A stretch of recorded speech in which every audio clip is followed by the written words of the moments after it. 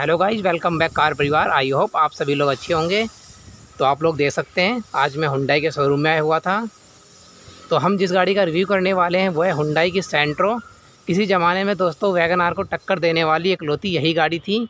तो आप लोग देख सकते हैं न्यू जेनरेशन की सेंट्रो अभी जो हमारे सामने हुंडई की सेंट्रो खड़ी हुई है, ये इसका सेंट्रो का स्पोर्ट्स वेरियंट्स आप लोग देख सकते हैं, इसमें हमें की जो है कुछ तरीके की मिल जाती हैं। देख सकते हैं। एक की दोस्तों आप लोग दे सकते हैं नॉर्मल की है और एक इसमें दे सकते हैं। ये लॉक अनलॉक हमें मिल जाता है इसमें। तो दोस्तों, ये हमें 1100 सीसी इंजन के साथ में मिल जाती है। अगर इसके पावर की बात की जाए तो इसमें हमें 71 bhp की पावर और 94 एनएम का टॉर्क मिल जाता है। अगर दोस्तों, इस गाड़ी की डायमेंशन की बात की जाए तो इस गाड़ी में हमें छत्तीस सौ एम की लेंथ मिल जाती है। और अगर इसकी विड की बात की जाए तो इसमें हमें सोलह सौ एम की विड मिल जाती है, जो कि दोस्तों बहुत ही अच्छी खासी गाड़ी की चौड़ाई है।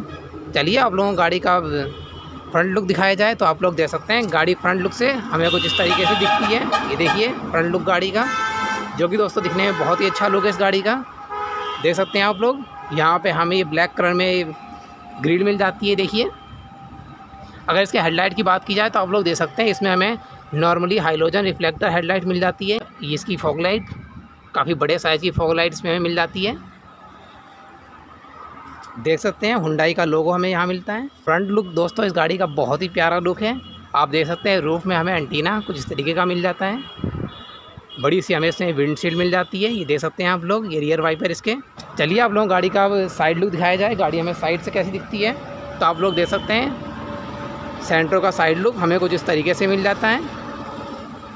इस गाड़ी की दोस्तों, सबसे अच्छी खास बात ये है, इसमें जो ओ आर मिल ओ आर बी एम पे ही हमें टर्निंग इंडिकेटर मिल जाते हैं, ये देख सकते हैं आप लोग। और की बात की जाए तो ये बॉडी कलर के साथ में ही आते हैं। ये देख सकते हैं इसके डोर हैंडल जो कि हमें वाइट कलर में मिल जाते हैं। अगर इस गाड़ी की ग्राउंड क्लियरेंस की बात की जाए तो इसमें हमें एक सौ सत्तर एम का ग्राउंड क्लियरेंस मिल जाता है। चलिए आप लोगों को टायर दिखाया जाए तो आप लोग देख सकते हैं इसमें हमें एम आर एफ़ के टायर मिल जाते हैं। इस वेरिएंट में दोस्तों हमें एलोई व्हील नहीं मिलते हैं। आप लोग देख सकते हैं इसमें हमें चौदह इंच के स्टील रिम टायर्स मिल रहे हैं। अगर टायर की प्रोफ़ाइल की बात की जाए तो एक सौ पैंसठ, सत्तर आर फोर्टीन ये देख सकते हैं, इसमें हमें व्हील कैप भी मिल जाती है, जो कि बहुत ही अच्छी क्वालिटी की है, देख सकते हैं। चलिए, आप लोग गाड़ी का अब रियर लुक दिखाया जाए तो आप लोग देख सकते हैं, गाड़ी का रियर लुक हम लोगों को कुछ इस तरीके से मिल जाता है, ये देख सकते हैं।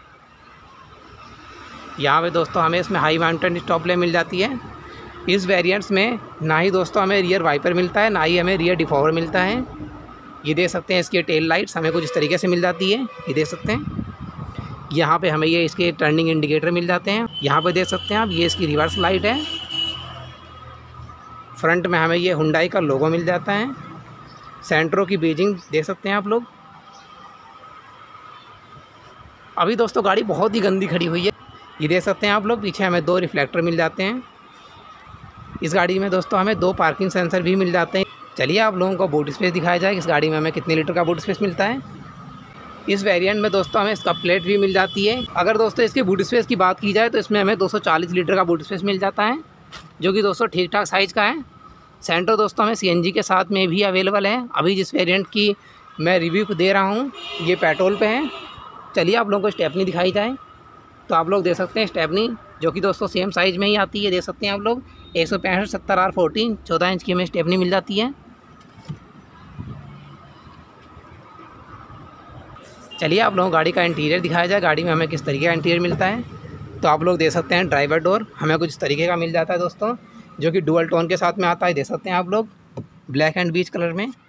आप लोग देख सकते हैं इसके डोर हैंडल्स हमें अंदर दोस्तों ये ब्लैक कलर में मिलते हैं, ये देख सकते हैं आप लोग। यहाँ पे दोस्तों हमें स्पीकर भी मिल जाता, लगा हुआ, ये देख सकते हैं यहाँ पे हमें स्पीकर मिलता है। यहाँ पे हमें थोड़ा सा स्पेस मिल जाता है बोटर वोटर रखने के लिए, इसमें हम एक लीटर की बोटल रख सकते हैं।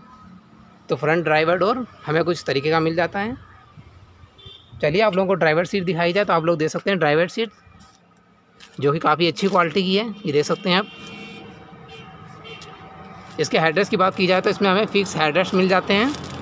अगर इसकी सीट की बात की जाए तो इसको हम आगे पीछे रिक्लाइन कर सकते हैं। हाइट एडजस्टमेंट वाला फीचर हमें इस वेरिएंट में नहीं मिलता है। चलिए अब ड्राइवर सीट पे बैठा जाए। तो ड्राइवर सीट पर बैठने के बाद में हमें फ्रंट का डैशबोर्ड का जो लुक है वो हमें कुछ तरीके से मिलता है आप लोग दे सकते हैं। तो आप लोग दे सकते हैं इसके ए सी वेंट्स हमें कुछ इस तरीके से मिल जाते हैं, ये देखिए। ये इसका आई आर वी एम जो कि दोस्तों डे नाइट मैनुअल के साथ में आता है, ये देखिए। अगर ड्राइवर सनवाइजर की बात की जाए तो आप लोग देख सकते हैं, ड्राइवर सनवाइजर हमें टिकट होल्डर मिल जाता है। और ड्राइवर सनवाइजर में हमें मिरर नहीं मिलता है। आप लोग देख सकते हैं, यहाँ पे हमें माइक मिल जाता है।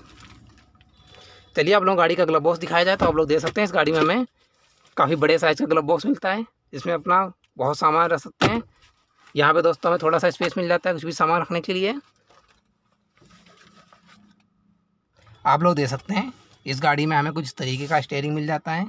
स्टेयरिंग पे दोस्तों हमें कंट्रोल मिल जाते हैं, देख सकते हैं आप। म्यूज़िक की वॉल्यूम कम ज़्यादा करने के लिए। इसमें दोस्तों हमें स्टेयरिंग पे कॉल अटेंड करने के लिए भी फीचर मिल जाता है। यहाँ पे आप लोग देख सकते हैं अगर इसके स्टेयरिंग की बात की जाए तो स्टेयरिंग दोस्तों हमें फिक्स मिलता है। ना ही इसमें हमें टिल्ट वाला ऑप्शन मिलता है, ना ही इसमें हमें टेलीस्कोपिक वाला ऑप्शन मिलता है। तो आप लोग देख सकते हैं सेंट्रो में हमें इंस्ट्रूमेंट क्लस्टर कुछ तरीके से मिल जाता है। यहाँ पे आप लोग देख सकते हैं, इसका आरपीएम मीटर बीच में आप लोग देख सकते हैं, इसका स्पीडोमीटर है। तो आप लोग देख सकते हैं, इसमें हमें सात इंच की टच स्क्रीन डिस्प्ले मिल जाती है देख सकते हैं आप लोग। इसमें अपने गाने वाने चला सकते हैं। इस वेरिएंट में दोस्तों, हमें रियर कैमरा नहीं मिलता है। यहाँ पे दोस्तों, आप लोग देख सकते हैं हमें यहाँ पे एसी नॉक्स मिल जाते हैं। ये देखिए नीचे हम लोगों को 12 वोल्ट का चार्जिंग सॉकेट मिल जाता है यूएसबी ऑक्स कनेक्ट कर सकते हैं यहाँ पे हम। यहाँ पे हमें थोड़ा सा स्पेस मिल जाता है अपना फ़ोन रखने के लिए। कुछ इस तरीके का हमें इसमें गेयर नॉब मिल जाता है फाइव स्पीड मैनुअल गेयर के साथ में ये गाड़ी आती है। ये वेरिएंट दोस्तों हमें ऑटोमेटिक भी मिल जाता है। आप लोग देख सकते हैं ड्राइवर डोर पे दोस्तों हमें कोई भी कंट्रोल्स नहीं मिलते हैं। अब आप लोग भी सोच रहे होंगे कि हम अपनी विंडो को अप डाउन कहाँ से करेंगे? तो चलिए आप लोगों को पहले दिखाया जाए कि अपनी पावर विंडो कहाँ से कंट्रोल करेंगे। तो आप लोग दे सकते हैं गेयर नॉब के साथ में ही हमें दोस्तों यहाँ पे आप लोग दे सकते हैं। यहाँ पे हमें अपनी विंडो को कंट्रोल कर सकते हैं। ये देखिए। यहाँ से दोस्तों ये देखिए। ये देखिए, यहाँ से अपनी विंडो को कंट्रोल कर सकते हैं। ये देखिए। जो कि दोस्तों सच बताऊँ तो मुझे ये फीचर बिल्कुल भी पसंद नहीं आया है। अगर इसके आर की बात की जाए तो हम इसे यहाँ से दोस्तों एडजस्ट कर सकते हैं। ये देखिए। आप लोग देख सकते हैं। यहाँ पे हमें थोड़ा सा स्पेस मिल जाता है। ये इसकी हैंड ब्रेक जो कि दोस्तों हमें ब्लैक कलर में मिल जाती है कुछ इस तरीके से। आप लोग देख सकते हैं, यहाँ से हम अपनी लाइट को ऑन कर सकते हैं, देखिए।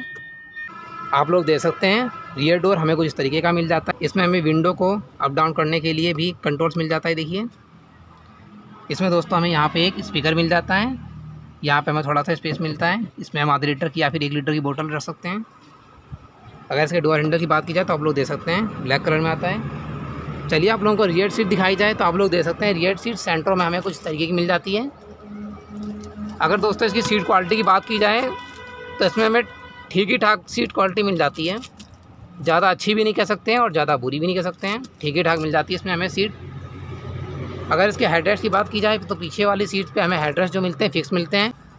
चलिए अब सेंट्रो के अंदर बैठा जाए। तो आप लोग दे सकते हैं ड्राइवर वाली सीट मैंने अपनी हाइट के अकॉर्डिंग एडजस्ट कर रखी है। जैसा कि आप लोग जानते हैं, मेरी हाइट साढ़े पाँच फीट है, फिर भी मुझे इस गाड़ी में काफ़ी स्पेस मिलता है। अगर इस गाड़ी में दोस्तों छः फीट का बंदा भी बैठता है तो उसको भी बैठने में कोई दिक्कत नहीं होगी। आप देख सकते हैं, इसमें मुझे थाई सपोर्ट भी बहुत ही ज़्यादा मिल रहा है। अगर दोस्तों इस गाड़ी की सीट की बात की जाए तो इसमें दो बंदे बड़े बैठ सकते हैं और एक छोटा सा बच्चा बैठ सकता है। अगर तीन बड़े बड़े बंदे बैठते हैं तो उन्हें बैठने में थोड़ी बहुत दिक्कत हो सकती है, क्योंकि दोस्तों गाड़ी की चौड़ाई थोड़ी सी कम है। यहाँ पे आप लोग देख सकते हैं, यहाँ पे हमें ये कैबिल लैम्प मिल जाती है, जो कि दोस्तों ये हाइड्रोजन में है। कैबिल लैम्प दोस्तों हमें मिडल में मिलती है फ्रंट में हमें कैबिल लैम्प नहीं मिलती है। ये इसके ग्रैब हैंडल आप लोग देख सकते हैं, ये भी है कुछ फिक्स आते हैं इस तरीके के। इस गाड़ी की तो सबसे खास बात बता रहा हूँ, जो कि इस वेरियंट की है, पीछे वाले पैसेंजर के लिए भी इसमें हमें एसी वेंट्स मिल जाते हैं, ये देख सकते हैं आप लोग। जिन्हें दोस्तों हम पीछे से ही यहाँ से कंट्रोल्स भी कर सकते हैं, यहाँ दोस्तों आप लोग देख सकते हैं, यहाँ नीचे हमें इसमें कोई भी चार्जिस और चार्जर सॉकेट नहीं मिलता है। इस वेरियंट्स में दोस्तों हमें आर्म रेस्ट भी पीछे नहीं मिलता है। तो कुछ इस तरीके से हमें पीछे वाली सीट से डैशबोर्ड दिखता है। अगर दोस्तों आप लोगों को इस गाड़ी के अकॉर्डिंग कुछ भी जानकारी चाहिए तो आप लोग इस शोरूम में आके विज़िट कर सकते हैं। मैं भी आया हुआ था हरदोई के बालाजी मोटर्स पे। तो दोस्तों अगर आप लोगों को मेरी वीडियो अच्छी लगी है तो प्लीज़ मेरी वीडियो को लाइक कर दीजिएगा। और अभी तक आप लोगों ने मेरा चैनल सब्सक्राइब नहीं किया है तो प्लीज़ गाइज़ मेरा चैनल सब्सक्राइब कर दीजिएगा। ऐसे ही आप लोगों को मैं गाड़ियों की जानकारी देता रहूँगा। तो ओके बाय मिलते हैं आप लोगों से नेक्स्ट वीडियो में।